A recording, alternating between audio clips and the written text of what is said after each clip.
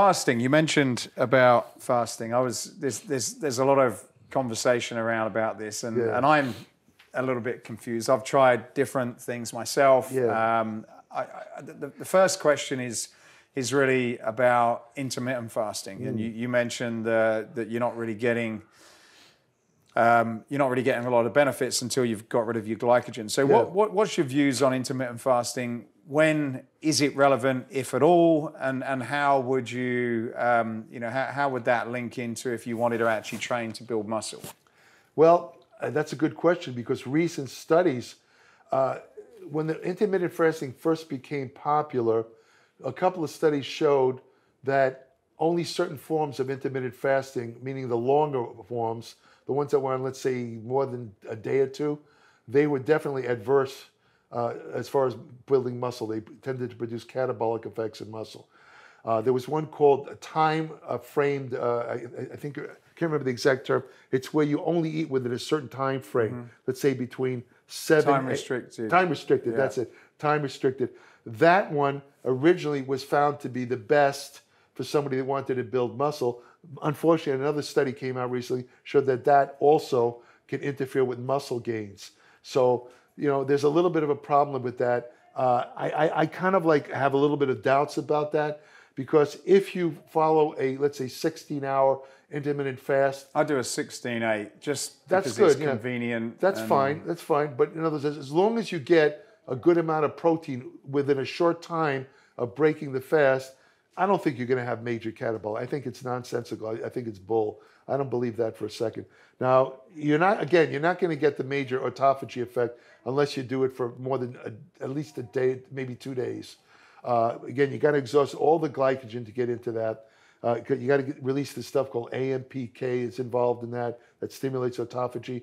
But uh, a short-term uh, uh, intermittent fast, for some reason, even if you do like you're doing, is really good for the immune system. Really? It kind of resets it.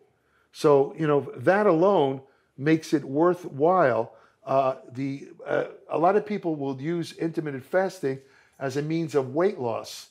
Now, recent studies that compared intermittent fasting to your, let's say, normal calorie counting showed no difference.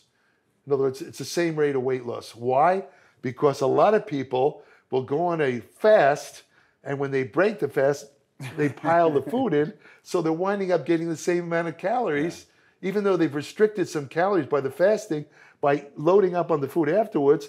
In the long run, they're getting the same amount of calories as a low calorie diet, so they're in the same boat. Yeah. You know, so the, so, but it's it's a good thing. I, I generally think that uh, that it's it's it's it's it's good for, it's good for health.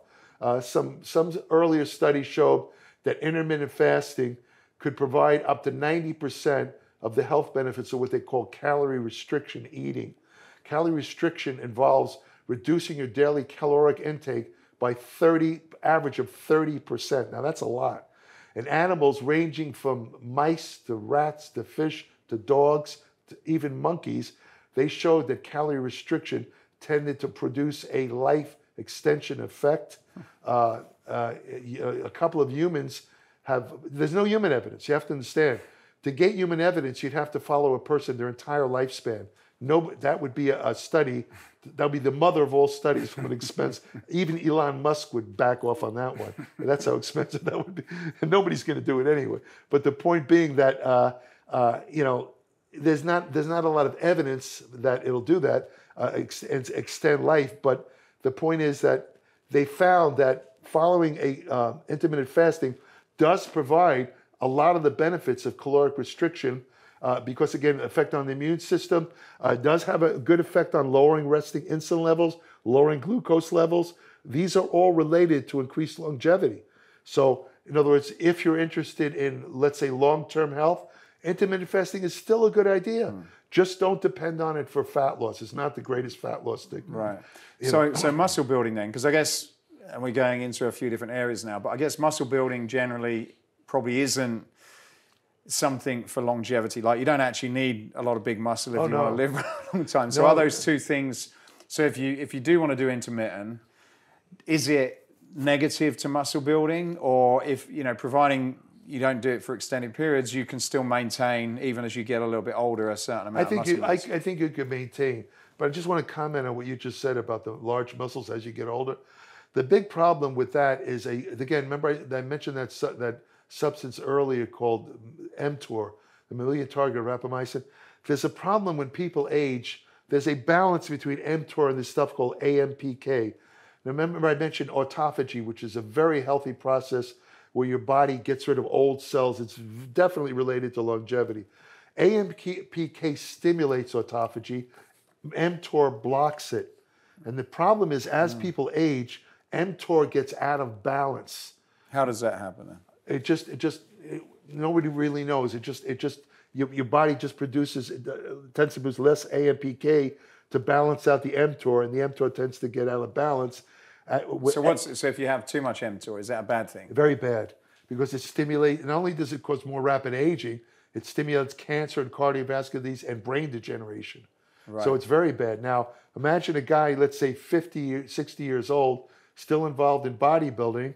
Uh, you know, he might be having a, a rise in mTOR, and he's taking amino acids which stimulate mTOR. He's uh, he's involved in weight training, which stimulates mTOR, and maybe he's even taking testosterone, which also stimulates mTOR. So there's a real problem there. They say, well, is that a dead man walking? No, there's things you could do about it. Very simple. What you do to counter mTOR is raise AMPK. There's a lot of nutritional supplements can do that. And guess what? When you do aerobic exercise, AMPK goes right up Really? right up. When you take in, uh, uh, if you take in carbohydrates, uh, right, let's say after your workout, M- M- AMP, AMPK rises.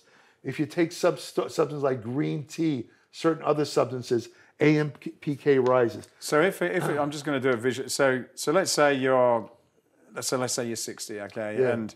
To, and you are doing weightlifting. You want to maintain a certain amount of muscle mass, which is good, I guess. Right, sure. And you've got you've got like mTOR up here Yeah. and M- AMK there. Mm-hmm. So if you let's say you do some cardiovascular stuff, does that sort of d- does that push this up and then M? So so you, you're kind of raising both levels, Right.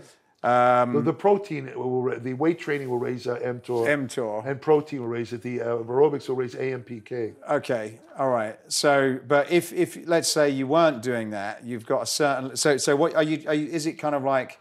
I'm trying to sort of explain this, but are you? Is the goal even if you've got a reasonably high level of mTOR through weightlifting and testosterone, is the goal to really boost the AMPK Yes. above that, which can be done, or, or to to offset that, Right. which can be done through other ways Yes, that's to you wanna- balance it out. That's the key. You want to Okay. balance it. You don't necessarily have to have a, a super high AMPK because AMPK blocks muscle protein synthesis.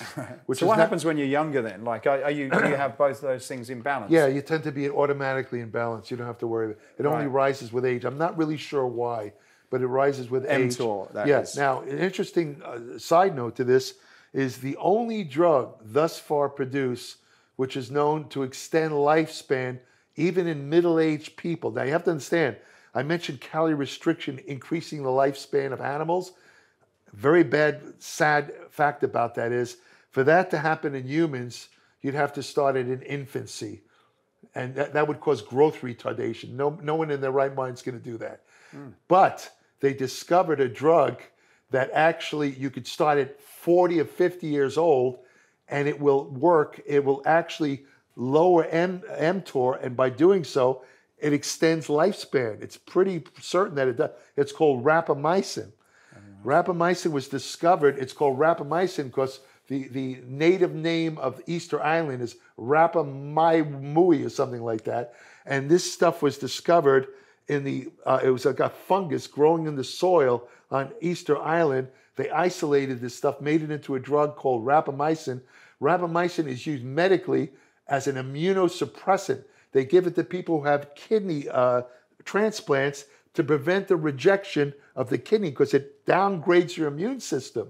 But it also inhibits mTOR. So a lot of people right now are taking, including some of the people that you've seen on these videos, uh, you know, they're taking smaller doses, maybe six milligrams of rapamycin twice a week, in the hopes of, and these are older guys, of getting the life extension benefits.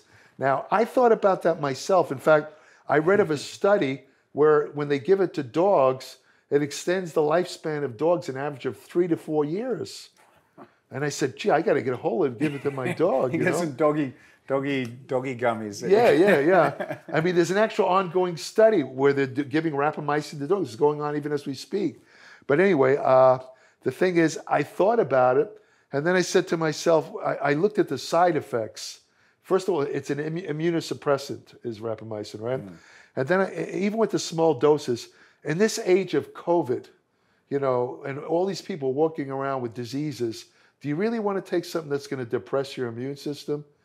No, I'm, I don't think so. So I, I chose not to take rapamycin.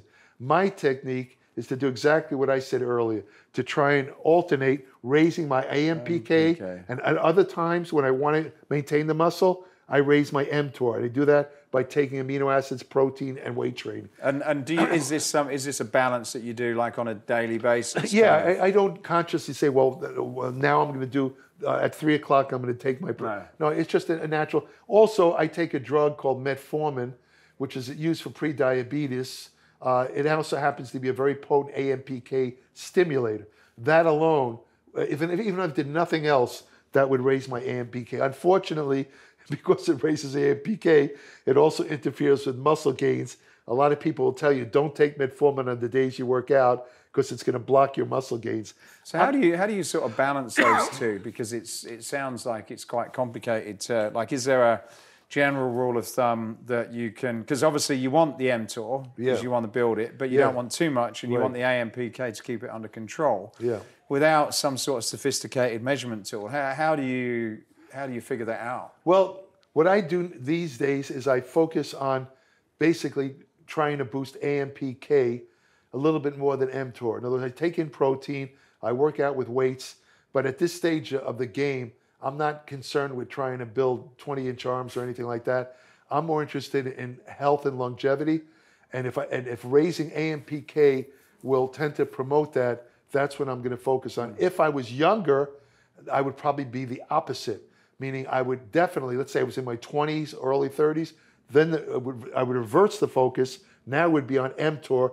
I wouldn't even be concerned about AMPK. It's only when you get older that So what sort of age are we talking? About 40s, I'd say 50s? well, I, a little older than that, about 50, 50, right. 55. You- Right. Yeah. Okay.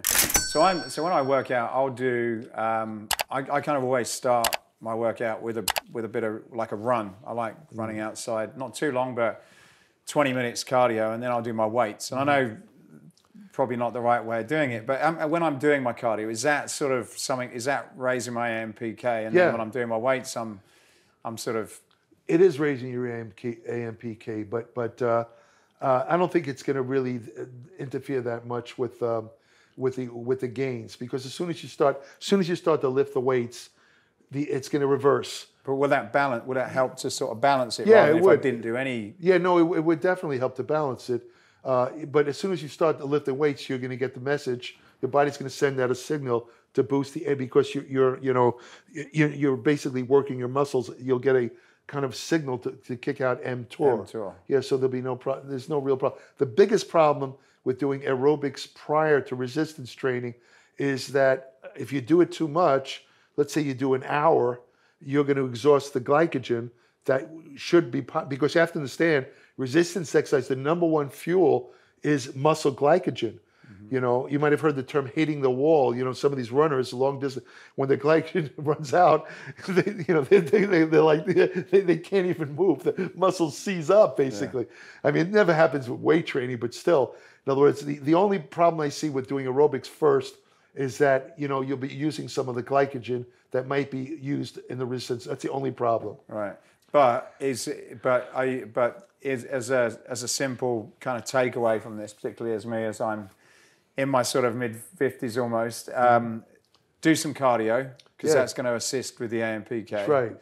Um, do your strength training and everything else. And is there any other supplementation to, you know, for that AMPK as well? Because it seems as though if you're taking protein and amino Yeah. acids and working out, you've you've got your mTOR Yeah. figured out. Yeah, there's a couple of them. Like I said, green tea, Green tea. curcumin, uh, it's a couple of them. I can't remember them offhand. There's about ten of them Right. that actually will raise AMPK. I don't remember. Those are the only two I remember offhand. And then coming back to the original thing, which was fasting, then, and, and so does the does the uh, intermittent or or any kind of fasting does that also put up the M, AMPK, which helps with autophagy? Yeah, It does. yeah. That's that's that is one of the advantages. So if you did if you did say once a month, a 48, 24 hour fast, that That would be very good. Good. Yeah, I know. Uh, there's a. Uh, uh, I think his name is uh, Vincent Longo. He's a uh, longevity researcher at USC. Uh, I think he said once or twice a year he goes on a five-day fast. Wow. Doesn't eat anything for five days. Just drinks water, I guess it is, or tea or something. Uh, now that is definitely catabolic. That's tough, though. And you know, if you look at the guy, he doesn't have much money. You know, what I mean, he's a, he's a scarecrow. The guy has like, you know, he's like one of these sticks over here. You know, he's not interested in muscle. So as, I wouldn't recommend that for anyone who wants to maintain muscle. But one thing I want to quickly add before I forget, you mentioned about having larger muscles with age. Not necessarily larger muscles, but you want to maintain as much muscle as possible because there's been a slew of studies recently showing that losing muscle, it's a condition called sarcopenia, when you lose muscle with age, has a direct relationship with increased mortality. Meaning the more muscle you lose and the faster you lose it, the faster you're going to die.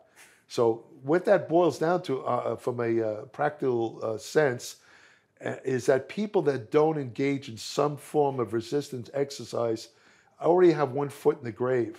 Seriously. I mean, I'm not saying you have to go to the gym and work out three hours a day, but you got to do some form of resistant training to maintain muscle mass. Can't do it with aerobics. It has to be resistant training. Everybody, man, woman, I don't care who you are. If you're past 40, if you want to live, you know, uh, live as uh, assuming you're doing everything right, you're not smoking cigarettes and eating a lot of garbage. You know, you have to do some sort of resistance training. You really do. It's absolutely essential. They know. They know. They now know that. See, in the past, you have to understand. They downplayed resistance. They said aerobic exercise. Forget resistance. Ah, you don't need resistance. You got to do aerobic exercise to maintain your cardiovascular system if you want to live long. And because cardiovascular disease is the number one killer, and they play down resistance training. Now they know they're equally important. You need both. That's what the new research shows. No, that makes sense. Yeah. With um, with with the fasting and um, you know, there's there's obviously going to be some muscle loss um, as a result of it. There, and, and and earlier you talked about these um, these um, satellite cells. Was that- Right? Yeah, stem cells, muscle stem cells. Yeah, was yeah. Was it what they, did you call them? What they called satellite cells? satellite cells, Yeah. satellite cells. Right. So wi- with did if you um, so say for example you fast for a long time, are you actually losing those, and or do they rebuild again, or like so when you when you lose muscle, what what is it that you're actually losing? Are you losing fibers? Are you losing like mass to the muscle? And and if you lose it, can you put it can you put it back again? Yeah, there's there's probably a, a, a loss of activity of satellite cells, Right. Which will you know eventually equal muscle loss, and also there's a uh, atrophy of the muscle fibers itself. From that, you know, because uh, it's a use it or lose it uh, system. If you don't use the muscle, uh, you lose it. Uh, it just basically fades away. That's the way muscle is. Body's a machine from head to toe, works on a use it or lose it basis. Uh, whatever you don't use, you lose, including brain cells. People that don't read, don't stimulate their brain, chests, or whatever, they will lose their brain eventually. You know, they're going to show much more brain degeneration than somebody comparatively who stimulates their brain. And I'm not talking about those brain games. I'm talking about stuff that you're really learning new things, like learning a new language, learning a, uh, how to play a musical instrument. This is like this is like muscle building for the brain because it stimulates. You heard this saying about losing brain cells. Well, now they know that that's kind of been exaggerated. Yes, you lose brain cells as you age, but they found that in the area related to memory of intelligence, an area of the brain called the hippocampus, you can actually develop new neurons. That's they never knew that years ago. In other words, they now they know the brain has a certain level what they call plasticity, meaning the ability to kind of renew itself to a certain extent. And you know when you when you uh, uh, when you use your brain, when you stimulate it, you know, let's say you've lost a certain amount of neurons or brain cells in a certain area, you stimulate what they call dendritic outgrowths, which bypass the bad neurons and interact with the live neurons. So you, you, it equals you haven't lost anything. In other words, brain, it's kind of like a self repair of the brain. So, but it only happens if you use it. If you don't use your brain, this doesn't happen, and the brain just goes right down. Coming back to the, the, the, conversation we had, so I guess you lose muscle if you don't use it. Yes. Use it. What's the difference between building a sort of a muscle base when you're younger, like in your 20s, and not having that and suddenly starting when you're 40s? Because I, I, certainly know for myself, I can yeah. quickly pick things back up again. Right. In, in, my 40s and 50s, I, yeah. have been I was working out since I was a you know 15. So. Yeah you, you can pick it back up where friends that have never done that they, they've got they seem to have a lot of work to do so right. I, if you start when you're younger are you laying the foundations that is easier to build yeah. back on again or is it just a psychological thing that you think you're doing it but you're not really? no no there's a scientific basis to it it has to do with what they call myonuclei which are related to satellite cells satellite cells work one of the reasons why they help build muscle is they contribute what they call myonuclei. Muscles are multinucleated, whereas normal cells only have one nucleus. Your muscles have several, and they call that uh, something about the domain. I can't remember the exact term, but the point being that when you work out, you stimulate the development of new myonuclei. Now, if you don't work out, you mentioned about not working out. What happens? The muscles will atrophy, but the uh, you know they will shrink. Uh, the satellite cells go quiescent, but the myonuclei that you previously developed from exercise remains. Hmm. This is called muscle memory. This is an old term, muscle. Everybody uses the term muscle memory because they notice that you know you could lay off for a while if you've been working out, and you come back and you, and you gain the muscle back. And they termed it muscle memory, but nobody knew the basis for it. But then they found it was this myonuclei. In other words, you, you get this myonuclei, additional myonuclei, which as soon as you start working again, it's like you wake them up and it's like wake, and as, as they wake up, the satellite cells wake up, and boom, there you're right back again. So yes, you know, starting earlier is now, a good thing. Yeah, to, to... You know, but whereas the person, let's say you, you use the example you used earlier, person who starts 40, 50, he hasn't developed those myonuclei, and if he hasn't worked out all his life and he starts at let's say 50, he probably already has a, uh, a, a certain level of satellite cell degeneration which is going to make it harder for them. To, this is why it's harder to develop muscle as you get older because the satellite cells are not quite as active. In other words, they, if you continue to engage in resistance exercise, you'll go a long way towards maintaining satellite cells, which is very important for maintaining muscle. But there's still a certain amount of inevitable loss that prevents, let's say, a 80 year old guy, or let's say uh, that's too much, 70 year old guy from looking like a 25 year old champion. But you can't get that, you know, even if you're the same person, you can't get that same. Frank Zane at 80 cannot go back to the way he looked at Mr. Olympia because of these changes in the muscle. He could stay in good condition for his age, maintain a, a good amount of muscle if he continues, and I know Frank does it, continues to engage in resistance training. But and same with Arnold and all these other guys. You can't get that same look again because again, there's a certain amount of loss mm. inevitable. But if you've never worked out and you start at let's say 55, the degeneration of the satellite cells has already occurred. Doesn't mean you can't put on muscle. It's going to be just much more difficult than a guy who was previously worked out, like the example you used.